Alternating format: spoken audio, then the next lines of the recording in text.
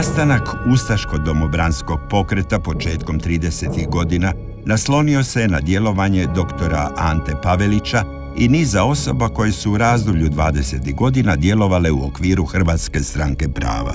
Unatoč programu koji se je zalagao za uspostavu slobodne Hrvatske države izvan jugoslavenskog okvira, te je formalno ugrožavao opstojnost novostvorene kraljevine Srba, Hrvata i Slovenaca, HSP je pretežito djelovao u sklopu sustava te države. Sam je Pavelić, koji je neposredno nakon svršetka Prvog svjetskog rata bio tajnik stranke, nastavio je tijekom 20. godina uspon u stranačkom okrilju te je postao jedna od najvažnijih osoba u stranci, a od 1927. na izborima je izabran za zastupnika u Narodnu skupštinu Kraljevine SHS.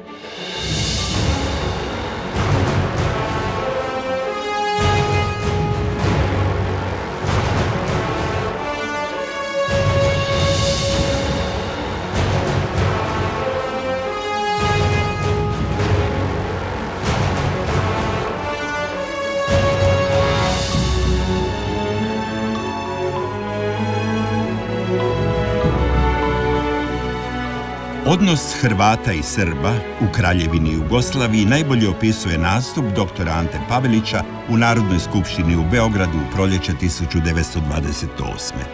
Tada je jedan srbijanski zastupnik Paveliću dobacio Laku noć, na što je on odgovorio Gospodo, i ja ću biti sretan kad vama bude mogao reći Laku noć. Biću sretan i onda kad vam svi Hrvati uzmognu reći Laku noć i hvala vam na ovakvoj zabavi kakvu smo imali s vama.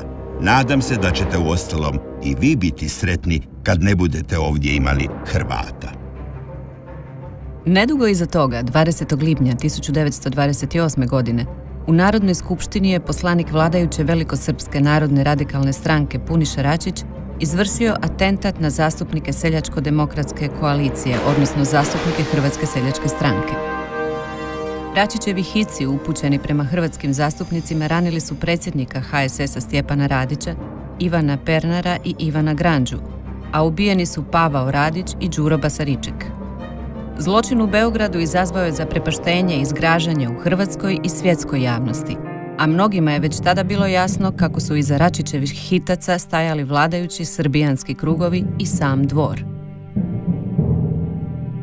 Atentat je učinio apsurdnim svaki daljnji pokušaj hrvatskih zastupnika da do svojih političkih ciljeva pokušaju doći metodama parlamentarne borbe.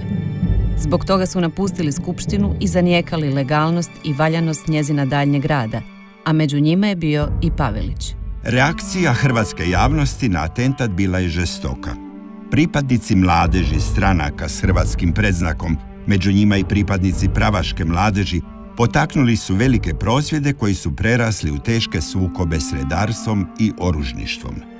Tadašnje ozračje dobro je opisao jedan od vođa mladeđi HSS-a, Ivan Bernardić, istaknuti sudionik tih događaja, koji je kasnije napisao kako su nemiri u Zagrebu godine 1928.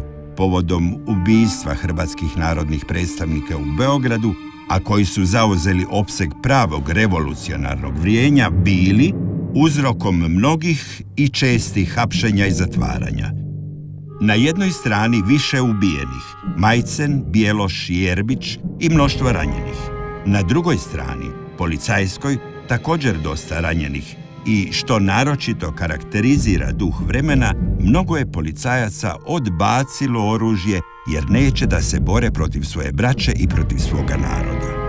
Omladina HSS predvodila je i regulirala bujicu revolucionarnog i borbenog vrijenja zagrebačkih ulica.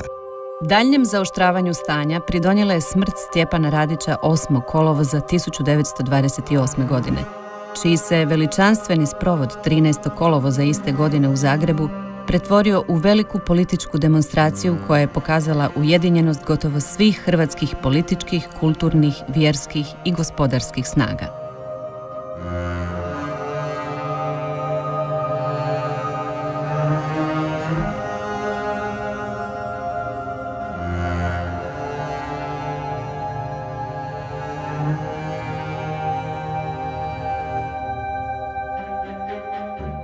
Pavelić radi sve na jačanju ilegalnog djelovanja, pri čemu se najviše oslonio na Savez Hrvatske pravaške republikanske omladine, SPRO-a.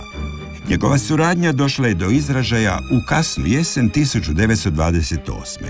Tada se još prišlo pokretanju organizacije pod nazivom Hrvatski domobran, koja je osnovana u Zagrebu 1. listopada 1928. Iako je nova organizacija formalno osnovana kao javno športsko društvo, što je trebalo biti prihvatljivo vlastima, ipak su one onemogućile njezino javno djelovanje.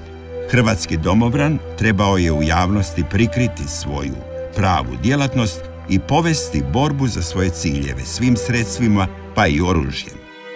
To potvrđuje i ime organizacije koje je bilo istovjetno s neslužbenim i široko prihvaćenim nazivom Hrvatske vojske, koja je djelovala u sklopu Austro-Ugarske monarhije. Podzemno djelovanje Hrvatskog domobrana i Pavelićevi beskompromisni istupi bili su po svojem karakteru slični kasnijem ustaškom djelovanju. Zbog toga se to razdoblje uvjetno može označiti pripremnim razdobljem koje je pridonijelo utemeljenju i razvoju kasnijeg ustaškog domobranskog pokreta. Unatoč zabrani javnog djelovanja, ime hrvatskog domobrana bilo je u javnosti ipak prisutno objavljivanjem i širenjem lista Hrvatski domobran. Uvođenje diktature kralja Aleksandra 6. siječnja 1929 dokinulo je bilo kakvu mogućnost daljnjeg legalnog javnog političkog djelovanja oporbenih stranaka. U zemlji je uveden neviđen teror, kojim se nastojalo suzbiti svako oporbeno djelovanje, a bezobzirno su nijekana i nacionalna prava hrvatskog naroda. Specifično je za taj teror bilo osnivanje i djelovanje više režimskih terorističkih organizacija Pritom su se svojom okrutnošću isticale poluvojne četničke organizacije, koje su u Hrvatskoj počinile brojna teroristička nedjela. Svakako najpoznatije bilo je ubojstvo doktora Milana Šuflaja u veljači 1931. godine, koje je snažno odjeknulo i u svijetu te je zadalo težak udarac ugledu Kraljevine Jugoslavije u svjetskoj javnosti.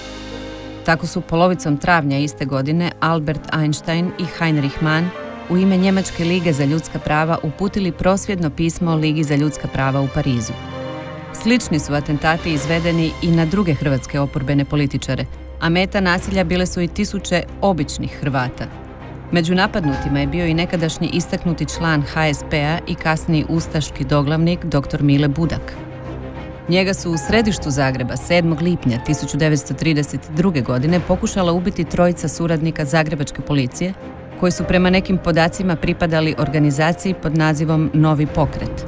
No Budak je unatoč teškim ozljedama glave uspio preživjeti. Aleksandrova diktatorska vlast može se označiti ne samo kao klasični državni teror, nego se također može tvrditi da je jugoslavenska vlast u Hrvatskoj nastupala poput terorističke organizacije. Strašni uvjeti u domovini utjecali su na Pavelića da zaključi kako svoje političke ciljeve ne može ispuniti ako ustraje isključivo na dotadašnjoj političkoj, odnosno obavijesno promičbenoj djelatnosti. Pritom ne treba zaboraviti na snažan utjecaj koji su na njega od proljeća 1929. imali makedonski emigranti iz VMRO-a Vanče Mihajlova. Oni su djelovali u Bugarskoj, a u prethodnim su godinama razvili znatnu oružanu djelatnost protiv Jugoslavije. Pavelić i njegov bliski suradnik Gustav Perčec u travnju 1929. posjetili su Bugarsku te su tamo uspostavili blisku suradnju s makedonskim emigrantskim vođama. Tamo je posjeta konačno onemogućila povratak u Hrvatsku jer ga je jugoslavenska vlast osudila na smrt. Pavelić se nakon toga odlučio za borbu svim sredstvima protiv srpskog terora, u prvom redu za oružanu borbu. Tadašnje djelovanje doktora Ante Pavelića i njegovih pristaša u domovini bila je ponajprije reakcija na poteze diktature i tragičnih događaja koji su joj prethodili.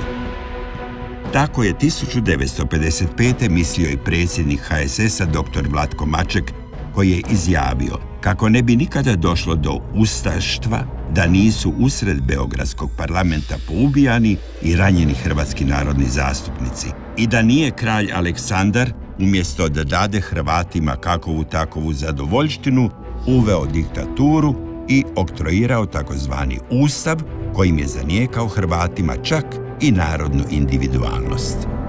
Današnja historiografija prihvaća spoznaju kako se Ustaška organizacija prvi put pojavljuje u prvoj polovici 1930. godine. Ustaša, Hrvatska revolucionarna organizacija, UHRO, je razvijena kao vojnička organizacija čije je vojno djelovanje trebalo pomoći uspostavi nezavisne Hrvatske države. Zbog toga su njezini pripadnici smješteni u ustaške vojne logore u Italiji gdje su živjeli vojničkim životom i gdje su se pripremali za buduće borbe. Revolucionarnost ustaške organizacije trebala se ogledati prvenstveno u rušenju Jugoslavije i uspostavi Hrvatske države svim sredstvima, pri čemu se prvenstveno mislilo na oružanu borbu koja je izjednačena s revolucijom. Najcjelovitiji ustaško-domobranski idejno-programski dokument koji je ukratko progovorio i o unutarnjem uređenju buduće Hrvatske države i društva jesu ustaško-domobranska načela iz 1933. godine. U njima su istaknuti glavni ciljevi ustaške borbe te je dan vrlo općenit nacrt budućeg karaktera Hrvatske države i društva. U skladu s osnovnim državotvornim ciljem pokreta, u većem broju točaka govorilo se o prirodnom i povijesnom pravu i o potrebi hrvatskog naroda da uspostavi nezavisnu hrvatsku državu. Ustaško-domobranska načela pokazuju kako je u budućoj državi seljaštvu bila namijenjena posebna uloga, pa je vjerojatno kako se je time htjelo pridobiti dotadašnje pristaše HSS-a. Postavlja i pitanje treba li međuratno ustaštvo svrstati u sklop tadašnjih fašističkih organizacija i pokreta – posebice s obzirom na djelovanje Uhroa na tlu fašističke Italije. S obzirom na cilj i svrhu djelovanja Ustaške organizacije, nema dvojbe kako je Ustaštvo bilo oblik integralnog hrvatskog nacionalizma. Talijanski fašizam i ostali tadašnji europski pokreti i organizacije koje zbog karaktera njihovih idejnih i programskih postavki treba svrstati pod pojam fašizma također su bili izraz integralnog nacionalizma svojih nacija – Temeljna je razlika između međuratnog ustaštva, posebice onoga do polovice 30. godina 20. stoljeća, italijanskog fašizma kao izvornog fašističkog pokreta, bila u svrsi i ciljevima njihova djelovanja. Može se reći kako su se fašistički pokreti i organizacije razvijali u sklopu postojećih nacionalnih država i nacija koje su dominirale u multietničkim državama, pa su oni ponajprije bili usmjereni unutarnjoj društvenoj preobrazbi svojih zemalja i nacija u čijem su sklopu poniknuli. To je značilo njihovu preobrazbu u totalitarne države koje su nadzirale i usmjeravale sva polja javnog i društvenog života. Te temeljne pretpostavke nije bilo u ustaškom slučaju, pa se cjelokupno njegovo djelovanje temeljilo na borbi za ostvarenje nezavisne Hrvatske države kao onome cilju djelovanja kojemu je sve bilo podređeno. Nije zbog toga neobično što unutarnjoj preobrazbi hrvatskog društva nije pridavana velika pozornost, na što upućuju i Pavelićeve smjernice, direktive iz godine 1937. U njima je naglašeno kako ustaštvo nije nastalo niti osnovano radi i u svrhu kakovih ideoloških maksima općenite naravi, nego kao revolucionarni pokret za oslobođenje hrvatskoga naroda. Na posljedku je istaknuto kako je najbitnije u sadašnjici uspostaviti hrvatsku državnu samostalnost na cijelom hrvatskom povijesnom i neprekinutom etničkom teritoriju. Dok to nije postignuto, potpuno su iluzorna sva ideološka i politička i socijalna pregnuća, jer se dotle u našoj domovini živi politički i socijalno onako kako to propisuje neprijatelj. Vrijedi istaknuti kako je nedavno ukrajinski povjesničar Aleksandar Zajcev napisao da je fašizam, uključivo i njemački nacionalsocijalizam, bio oblik integralnog nacionalizma nacija koje su imale državu, a energija takvih fašizama bila je usmjerena k totalitarnoj preobrazbi država i njihovih nacija. Ustaško-domobranska djelatnost je u razdoblju od 1930. do 1934 bila obilježena snažnim vojno-terorističkim djelovanjem UHROA i njezinih pristaša u domovini, kao i bogatom obavijesno promičbenom djelatnošću u inozemstvu i u domovini. Obilježje vojno-terorističke djelatnosti bile su brojne sabotaže na javnim objektima, posebice redarstvenim i oružanim postajama i atentati na predstavnike i privrženike vlasti. Pritom su se isticale eksplozije pačajnih strojeva na željeznicama. Glavni organizator takve djelatnosti od 1930. do 1933. bio je Gustav Perčec, koju je vodio iz Mađarske, u kojoj je postojao ustaški logor na pustari Janka Pusta u okolici Načkanjiže. Tako se u rujnu 1932. pokušalo s ograničenim vojno-gerilskim i promiđvenim djelovanjem, zbog čega je došlo do organiziranja manjeg potvata na području Velebita, poznatog i pod nazivom Lički ili Velebitski ustanak. Manja skupina naoružanih ustaških emigranata, koju je predvodio Rafael Boban, prebačena je u liku iz ustaškog logora u Italiji, te je obučena u posebne ustaške vojne odore, danima obilazila mjesta u širokoj okolici Gospića. Gdje god bi se pojavili, Ustaše su, uz pratnju lokalnih pomagača, održavali javne skupštine i dijelili promičbeni materijal. Zbog brzine njihova premještanja i brojnih javnih nastupa stvoren je dojam o postojanju brojnih i dobro naoružanih ustaških postojbi u lici. Sve je to uzbudilo jugoslavenske vlasti koje nisu znale kakva je stvarna snaga ustaških boraca i kako bi reagirale, iako su se ustaške snage sastojale od svega desetak ustaša emigranata i nekoliko lokalnih pomagača. Na posljedku su Ustaše oružano napali oružničku postaju u mjestu Brušani u noći od 6. na 7. rujna 1932. da bi se brzo povukli i krenuli prema Velebitu s ciljem prebacivanja na primorsku stranu i povratka u Ustaški logor u Italiju. Na tom je putu Ustaška skupina naišla na potjeru koju su organizirale jugoslavenske vlasti. U kraćem okršaju tada je poginuo Ustaša Stipe Devđiš iz Lukovog šugarja pod Velebitom, koji je kasnije u nezavisnoj državi Hrvatskoj slavljen kao ustaški heroj i mučenik. Iako nevažan svojnog stajališta, iznimno važni bili su njegovi promiđbeni učinci. Tako je u studenom 1932. Ustaša, vjesnik hrvatskih revolucionaraca, sa zadovoljstvom isticao kako je donijelo cijelo svjetsko novinstvo o tom izvještaje. U svim tim člancima svih svjetskih novina govori se sa udivljenjem o hrabrim ustaškim junacima, njihovu akciju nazivaju ti članci borbom za slobodu potlačenih, da bi na kraju bilo zaključeno kako je minuli godina o hrvatskoj narodnoj stvari, o hrvatskim patnjama i mukama, o ropskom položaju hrvatskog naroda i o njegovu pravu za slobodu vanjski svijet doista znao malo. Sam Pavelić je u svojim poslije rata pisanim uspomenama istaknuo kako se nije radilo o jednom pravom ustanku, nego samo o demonstraciji i pokušaju. Unatoč tom malom pokušaju i demonstraciji, ta ograničena epizoda postala je toliko važna i značajna da je ušla i u povijest pod imenom Lički ustanak.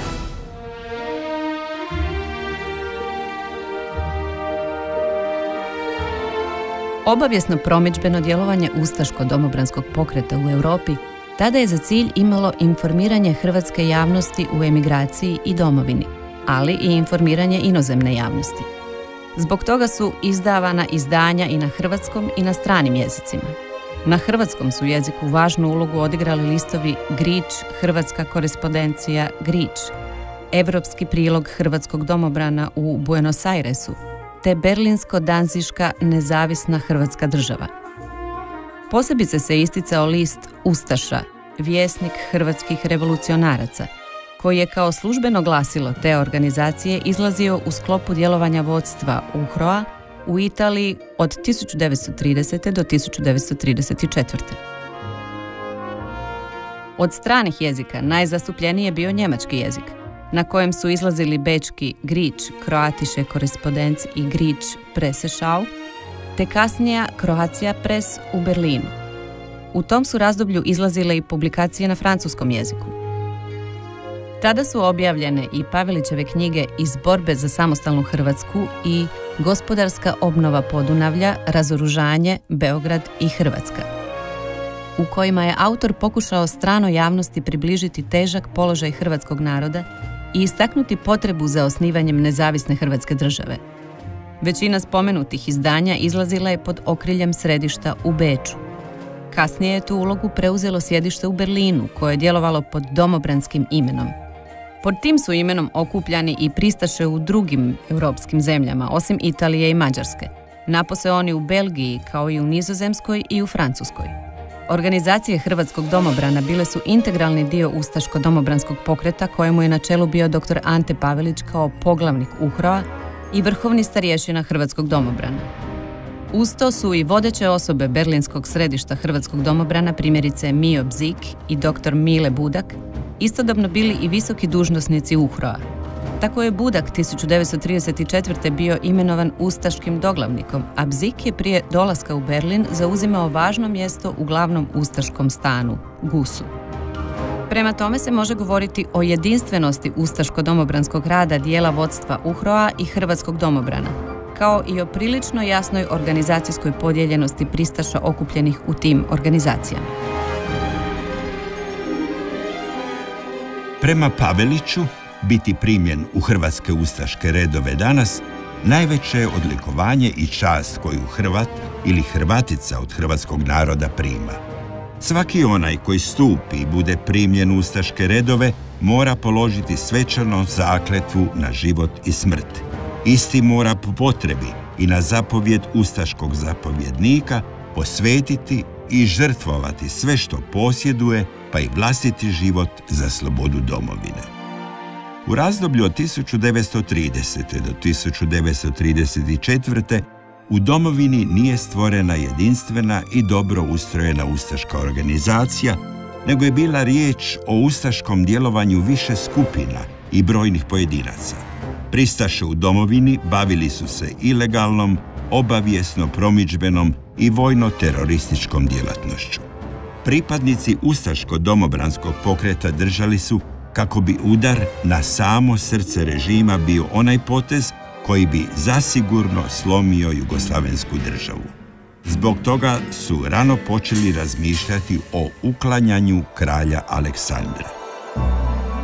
Prvi ozbiljan pokušaj atentata na njega zabilježen je u prosincu 1933. u Zagrebu, kada je kralja spasila samo neodlučnost atentatora, Petra Oreba. Taj neuspjeh nije pokolebao ustašku organizaciju, te se čekala sljedeća prilika. Ona se pojavila kada je za početak listopada 1934. godine najavljena državna posjeta kralja Aleksandra Francuskoj. Ustaška je organizacija u suradnji s VMRO-om i vjerojatno uz znanje talijanskih vlasti pripremila atentat na kralja prigodom njegova iskrcavanja na francusko tlo. Glavni organizator atentata bio je tadašnji bliski Pavelićev suradnik Eugen Dido Kvaternik, koji je i osobno otputovao u Francusku kako bi sve bilo spremno za doček kralja i izvođenje atentata. Prema planu kralja je trebalo ubiti odmah po njegovu iskrcavanju u Marseju, a skupinu koja je to trebala učiniti činili su Veličko Kerin te Ustaša Mio Kralj. U slučaju njihova neuspjeha, druga je skupina atentatora koji su čekali u okolici Pariza trebala ponovno pokušati napad. U međuvremenu je visoki jugoslavenski redarstveni dužnosnik Vladeta Miličević došao do informacija o pripremama atentata i o tome obavijestio kralja, no ovaj je odbio izmijeniti raspored puta i iskrcati se na nekom drugom mjestu. Francuska je policija pokušala pronaći atentatore prije kraljeva iskrcavanja, no to joj nije pošlo za rukom jer su oni u Marseille doputovali autobusom svega dva sata prije atentata. Brojni su opisi onoga što se tada dogodilo, a jedan od boljih objavljen je u Zagrebačkom dnevniku Novosti 11. listopada 1900. Pukovnik je dotle udarcem sablje oborio atentatora, kojega je šofer pograbio za gušu. Čini se da je netko i pucao na atentatora. Jedni tvrde da je to bio šofer, dok drugi vele da je pucao jedan policist. Međutim se čini da je i sam atentator htio da ispali sebi metak u usta. Masa svijeta, vidjevši ga gdje puca, nagrnula je da spriječi njegovo djelo. Nastala je užasna gužva. Masa je navalila prema automobilu, a na masu su jurnuli konjanici koji su pratili automobil. Kola su krenula dalje u pravcu prefekture. Atentator je dignut sa zemlje i odnesen u obližnju stražaru. Međutim je auto sa njegovim veličanstvom stigao u prefekturu. Tu je tijelo odneseno u kabinet i položeno na krevet. Ljekari su učinili nadljudske napore, ali su izjavili da pomoći više nema. Njegovo veličanstvo je izdahnulo u 16 i 10 sati po francuskom vremenu. Sat i pol kasnije podlegao je ranama i francuski ministar inostranih poslova Louis Bartot. General Georges je teško ranjen i lebdi između života i smrti. General je uspio preživjeti, atentator Veličko Kerin umro je nakon nekoliko sati od posljedica Pioleova udar za sabljom i linča kojemu je bio izvrgnut nakon što ga je dohvatila pobješnjela masa. Rana ministra Bartoa nije bila osobito teška, no panika i kaos na ulicama Marsea nakon Kerinovih pucnjeva omogućili su pravodobno pružanje pomoći ranjeniku koji je preminuo zbog prevelikog gubitka krvi. Usto je više nego li dvojbeno je li za njegovo ranjavanje uopće bio odgovoran Kerin, jer zrno pronađeno u sjedalu na kojemu on sjedio bilo je kalibra i izvedbe kao i meci koje su koristili pripadnici francuske policije. Iako je atentator bio član VMRO-a Veličko Kerin, a bilo je očito i da je sve organizirala UHRO, ipak su tada postavljena brojna pitanja o mogućoj pozadini tog događaja. Kolika je bila upletenost Italije, ali i Mađarske iz koje je došao dio atentatora, ostalo je pitanje. Tada se je također pokazalo i to da je francusko osiguranje bilo slabo, što je u znatnoj mjeri omogućilo uspjeh atentata. U tadašnjoj javnosti, poslije u literaturi, pojavile su se i pretpostavke o navodnoj upletenosti nacionalsocijalističke Njemačke. Pritom se je pretpostavljalo kako je nacistima motiv za sudjelovanje bilo uklanjanje ministra Bartoa, koji se je isticao svojim protunjemačkim stajalištima.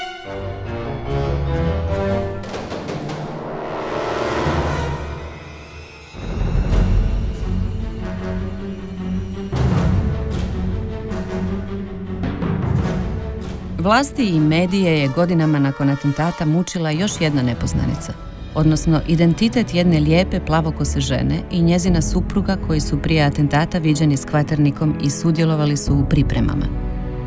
U nedostatku točnih podataka je u mašti novinara i policajaca ta plavuša pretvarana u tajnu agenticu i špijunku, odnosno u svojevrsnog ženskog Jamesa Bonda – sve to zabavljalo tadašnju svjetsku javnost, a njezinu medijsku popularnost iskoristio je i Pavelić, koji je u dokolici Torinske tamnice u koju su ga nakon atentata zatvorile vlasti, napisao roman Lijepa plavka.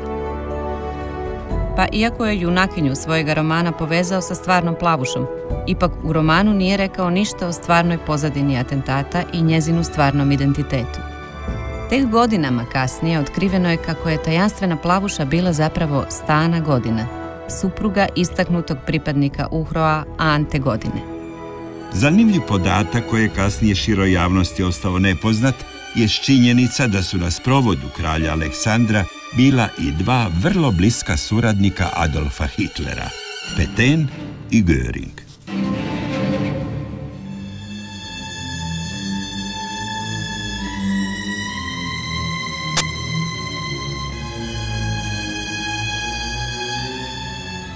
Atentat je uklonio kralja Aleksandra, no osnovni cilj nije postignut. Jugoslavenska je država opstala. To je rezultiralo trenutačnim prestankom svakog ustaško-domobranskog rada u Europi, kao i gotovo potpunim prestankom djelovanja ustaške skupine u Italiji. Ona je tada razoružana i internirana na otoku Lipari, a dr. Ante Pavelić zatvoren je u Torinskoj tamnici. Ustaško-domobranski rad u dotadašnjem je opsegu nastavljen samo u sklopu organizacija Hrvatskog domobrana u objema Amerikama. No atentat je izravno utjecao na slabljenje dotadašnjeg diktatorskog režima u Kraljevini Jugoslaviji, što je omogućilo polaganu obnovu političkog života u Hrvatskoj. To je pogodovalo oživljavanju rada HSS-a, a omogućilo je i rad i proustaškim elementima. Od tada pa sve do 1941. godine glavnina je proustaškog rada u Europi bila u domovini. Uz taj rad važan bio i nastavak djelatnosti organizacija Hrvatskog domobrana u objema Amerikama.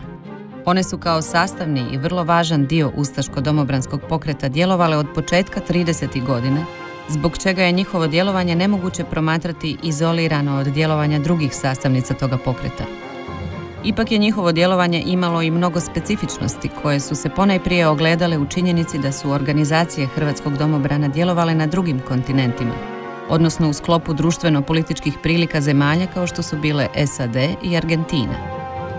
Zbog toga nisu bile suočene s preprekama kao slične organizacije u Europi, što im je omogućilo da se razviju kao masovne i seljeničke organizacije. One su mogle neprekinuto djelovati tijekom dugog razdoblja, pa su tako organizacije Hrvatskog domobrana u Argentini uspjele nadživjeti ne samo ustašku organizaciju, nego i kasniji ustaški pokret u NDH. U Europi je američkim organizacijama donekle sličan bio samo Hrvatski savez uzajamne pomoći u Belgiji, no i on je morao prekinuti rad nakon atentata u Marseju.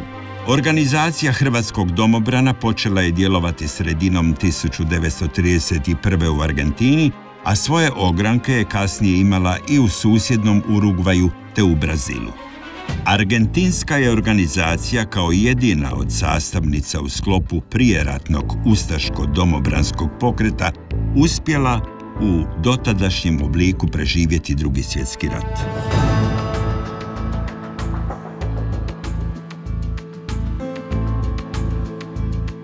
Domobranske su organizacije u objema Amerikama kao masovne iseljeničke organizacije razvile znatnu obavijesno promičbenu djelatnost, kojom su djelovale na hrvatske iseljenike i na javnost svojih zemalja. Pritom treba istaknuti domobransko djelovanje u SAD-u. Ono se ogledalo i u prikupljanju znatnih novčanih sredstava koja su olakšala djelovanje ustaške organizacije i istaknutih ustaških dužnosnika u Europi. Domobranski rad u objema Amerikama bio je neobično važan za opstanak ustaško-domobranskog pokreta nakon atentata u Marseju. On je omogućio nastavak ustaško-domobranske promičbe u svjetskoj javnosti i financirao je obranu atentatora pred francuskim sudom. U razdoblju od 1935. do travnja 1941. glavnina ustaškog i proustaškog djelovanja u Europi bila je u domovini. Tada je ustaška skupina internirana na Liparima, a Pavelić je nakon oslobađanja iz tamnice početkom 1936. mogao održavati tek povremene kontakte s pristašama iz domovine. I inače krajnje ograničena ustaška djelatnost u toj je zemlji u ožiku 1937 dobila težak udarac sporazumom između talijanskog ministra vanjskih poslova Galeaca Čana i predsjednika jugoslavenske vlade Milana Stojadinovića, koji je otvorio put uspostavi prijateljskih odnosa dviju zemalja. Pritom je trebalo ukloniti smetnje razvoju prijateljskih odnosa, pa je ustaška skupina premještena s Lipara i razbijena na manje skupine koje su bile internirane diljem Italije. Pritom su i inače skučene Pavelićeve mogućnosti djelovanja još više sužene. Jedna od posljedica sporazuma iz ožujka 1937. bilo je omogućivanje povratka u domovinu stotinama dotadašnjih emigranata. To je doduše smanjilo broj emigranata, no izravno je utjecalo na znatan rast ustaške djelatnosti u domovini. Nešto povoljniji uvjeti za ustaški rad u Italiji nastupili su tijekom 1939 a napose od početka 1940. godine. To je bilo izravno povezano s padom dotadašnjeg predsjednika Jugoslavenske vlade Milana Stojadinovića, kojega su talijanske vlasti smatrale jamcem dobrih odnosa između dviju zemalja. Zbog toga talijanska strana ponovo počinje razmatrati planove o rušenju Jugoslavenske države, to je u središte pozornosti ponovo dovela doktora Antu Pavelića. O tom svjedoče njegovi tadašnji razgovori s talijanskim ministrom vanjskih poslova Grofom Čanom. U drugoj polovici 30. godina pokušao se Pavelić približiti Njemačkoj, no u tome nije uspio zbog tadašnje njemačke projugoslavenske politike. Istodobno su njemačke nacionalsocijalističke vlasti onemogućavale djelovanje pripadnika i pristaša Ustaško-domobranskog pokreta u svojoj zemlji. Može se reći da su i nacistička Njemačka i fašistička Italija bile sklone opstanku Jugoslavije.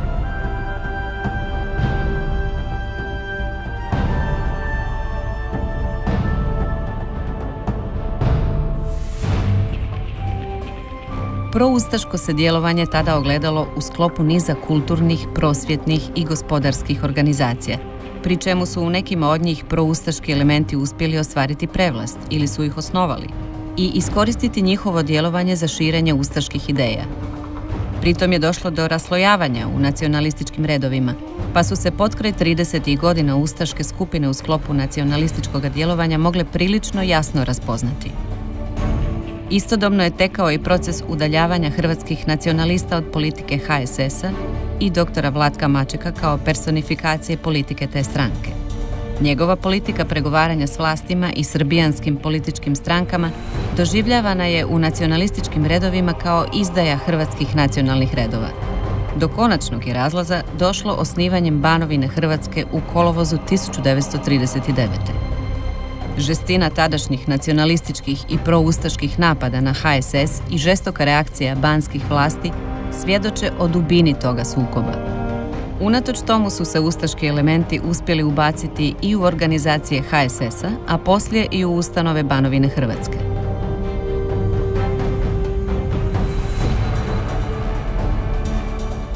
Tijekom 30. godina osobito se isticalo proustaško djelovanje na Zagrebačkom sveučilištu, ponajprije u sklopu društava kao što je bilo kulturno-akademsko društvo Augušenova. Izvan sveučilišta također je bilo pristaša koji su djelovali u različitim nacionalističkim organizacijama.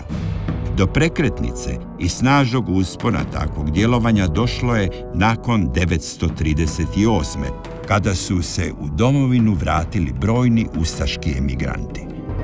S njima se je vratio i ustaški doglavnik dr. Mile Budak, koji se je uskoro nametnuo kao vođa nacionalističkog i ustaškog djelovanja u zemlji.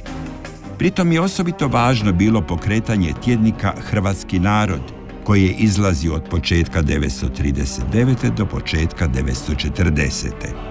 Oko toga glasila okupile su se vodeće osobe nacionalističkog i ustaškog djelovanja u domovini, kao što su bili dr. Mile Budak, Slavko Kvaternik, dr. Mladen Lorković i drugi.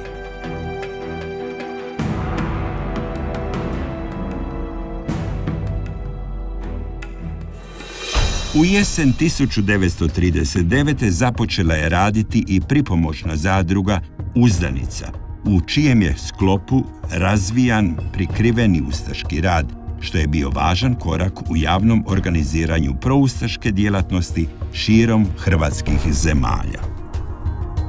Istodobno se je od 1937. ilegalno razvijala i ustaška organizacija. Ona je povratkom brojnih ustaških emigranata tijekom 1938. doživjela znatan rast broja članova i opsega djelatnosti. Osobit rast doživjela je u mjesecima koji su neposredno prethodili uspostavi NDH. Ipak treba reći da je broj formalno uključenih članova organizacije i tada ostao vrlo mali, što znači da je znatan broj pristaša i dalje ostao izvan nje.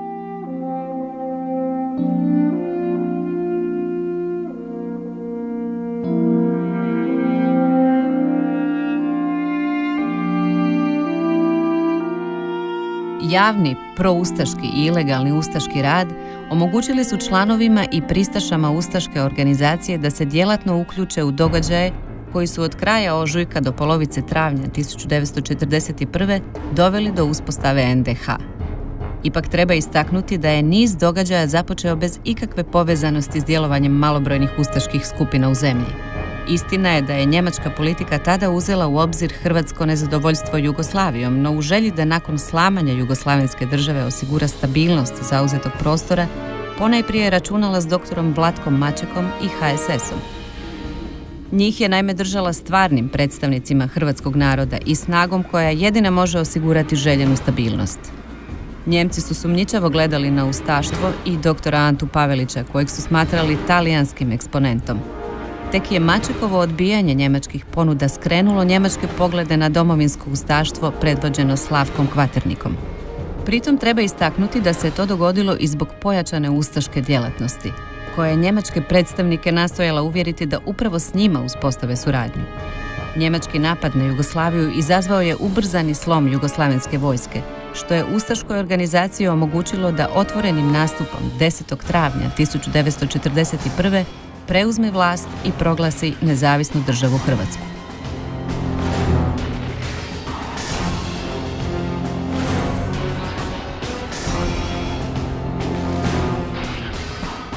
U svemu tome sudjelovala je isključivo domovinska ustaška organizacija. Ustaška skupina u Italiji, predvođena Pavelićem, bila je tada tek promatrač događaja, te je njezino djelovanje bilo ograničeno na promičbenu djelatnost i na pripreme za povratak u domovinu. U prvom je trenutku većina Hrvata pozdravila osnivanje nove države, a mnogi su se i djelatno uključili u njezino stvaranje. Mnogima se je činilo kako je istodobno srušena, omražena Jugoslavija i ostvarena samostalna država, ali i izbjegnuta neizvjesnost ratnih stradanja i strane vojne okupacije. Ubrzo su takve nade na najgori mogući način bile iznevjerene. Prihvaćanje mnogih diktata Hitlera i Mussolinija, kao što je između ostaloga bila primjena rasnih zakona, ogroman broj iskrenih hrvatskih domoljuba razočarao je, jer to ni u kojem slučaju nije bio dio načela ustaškog pokreta koji su ih nagnali da postanu njegov dio. Sve do danas traju rasprave, ponekad i vrlo žučne, oko uloge nezavisne države Hrvatske u hrvatskoj povijesti. Ono što je neosporno jest činjenica da je ustaški režim tijekom svoje četverogodišnje vladavine odgovoran za neke najteže zločine protiv civilnog stanovništva. Tijekom Titove komunističke Jugoslavije sve što je bilo vezano uz ustaški pokret i uz tu državu bilo je sotonizirano. Ne samo zbog savezništva s Hitlerom i Mussolinijem, nego i zbog činjenice da je glavni razlog nastajanja toga pokreta i NDH bila želja ogromne većine Hrvata za samostalnom Hrvatskom državom bez stvaranja bilo kakvih balkanskih saveza, posebno onih sa Srbijom. To veliko Srbi i hrvatski Jugoslaveni nikako nisu mogli oprostiti. Stvaranjem samostalne Hrvatske države 1991. pod vodstvom doktora Franje Tuđmana ostvaren je san generacija Hrvata koji su se tijekom povijesti borili za isti cilj. Republika Hrvatska nije sljednica NDH, ali za mnoge Hrvate, i one u Hrvatskoj i one koji su morali pobjeći iz nje, NDH je u kolektivnoj svijesti ostala kao činjenica da je neovisnost ipak moguća da Hrvati ne samo da imaju pravo, nego i vjeru i snagu za ostvarenje tisućljetnog sna.